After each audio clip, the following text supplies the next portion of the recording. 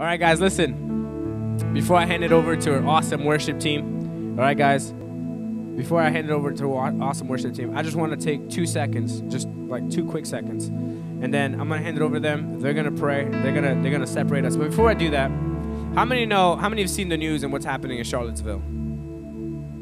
Okay, it's literally all over the news. It's like it's everywhere, and I would be remiss if I didn't address it, because the truth is is the truth is this: is that as long as we're still in this earth there's gonna be some messed up things that are gonna happen, right? Like we, how many imperfect people do we have here tonight? You better raise your hand because the, the entire youth group will know you're lying. But listen, we live, we live, we live in a broken world. We we just do.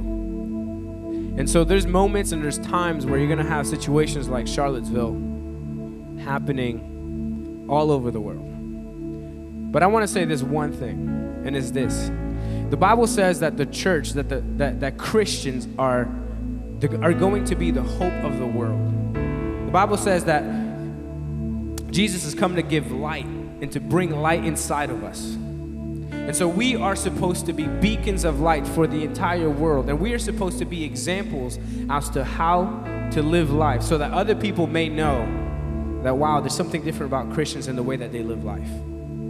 And, and I'm saying all that to say this and I want to be careful about how I say it, but one, I think we can all agree that racism exists in the world, right? Like it would be pretty crazy to say it doesn't. It's real. But just because it's real out there doesn't mean that it's got to be real in here. And when situations like that happen, right, we we can't ignore them. The, um, I remember reading, uh, I, I, like reading a lot of books, and, and one of the books that I was reading was on, on Martin Luther King. And he has a famous quote in that book, and he says, Hate cannot drive out hatred, just like darkness can't drive out darkness. What drives out darkness? Light, right? So, my challenge to you when all these dark things are happening around the world in Charlottesville, Virginia, and, and, and shootings are happening all over the world, I challenge you to be a light when you leave this place. Be light everywhere that you go. Love, love on everyone. Love people with the love that Christ has put inside of us. And when you begin to love people that way, when you begin to do that, when you begin to like to, to, to meet people that perhaps act different, talk different, come from a different background, and you accept them as family even though they look different than you do or, or, or whatever the, the differences may be, I promise you something will happen. Something, something will happen. There is a light that's inside of you that only you can shine. There is a light inside of you where, in places where you and you alone go that I can't go, where Mackenzie can't go, where Emily can't go, where Brett can't go. And perhaps that's your school, perhaps that's your family, but everywhere that you go, I challenge you, challenge you, challenge you. Hear me, students. Don't think that there's nothing that you can do. Don't think that you all you have to do is, is, is like all you have is the ability to watch what's happening and do nothing about it. Because there is power inside of you. There is there is an ability for you guys to create light everywhere that you go. And if we all decide to do that, if we all decide to take responsibility for what we can do, we can make a difference in the world. Amen? All right. Let's bow our heads real quick. I'm going to ask the worship team to pray. Let's bow our heads. All right. I wanted to do something a little different tonight, but I don't know about you guys, but I've been in a fog all day. It's also been foggy outside. I don't know if that's a coincidence, but uh, let's just give our all to the Lord tonight. So if you guys feel comfortable, let's just raise our hands as high as you feel comfortable to the Lord right now. Heavenly Father, we just come before you, Lord, and we just surrender ourselves to you, Lord. We submit our hearts, Lord. We submit our minds. Lord, we just surrender in this moment right now because, God, we're just believing that you're going to do something amazing in this time of worship where we just sing these few songs, but God, we're just going to dedicate this time solely to you, Father. If there's anybody that's come into this place, Lord, and they're distracted or they had a bad day, Lord, something went wrong, Father, we pray that whatever it is, Lord, that every single person would just be able to lay it at your feet tonight, Lord, so that they're not distracted, Father. They're not uh, held back tonight, Father, that they would just be able to give their all to you. Father, we give our all to you tonight because that is what you are worthy of. You are worthy of everything that it is that we have because you gave everything for us. You gave your son for us. So, Father, tonight, we just, right now, Lord, we just surrender to you. Father, we love you. We worship you, Jesus. We're expecting you. We're expecting you to do great and mighty things in each and every one of our lives. We don't want to miss it, Father. We surrender to you right now. In your name we pray. Amen. You guys can at this time feel free to spread out. We're just going to into a time of worship. So let's just, like I said, let's just continue. Let's just give God all that we have tonight. Amen. All right, let's worship.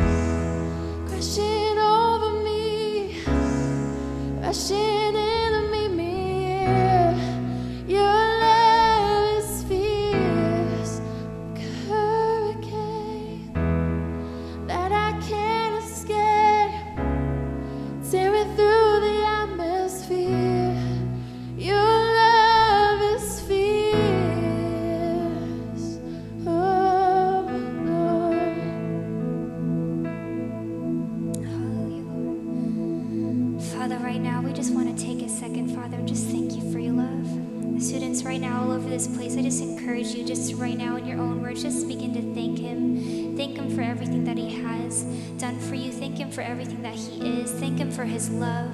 Just begin to pour that love back on Him. Father, we love you. Father, we worship you, Jesus. Father, we thank you, Lord, that no matter what it is that we do in our lives, Father, you love us no matter what, unconditionally, Jesus. Father, we thank you, Lord. We thank you for your undying, unswerving love, Jesus.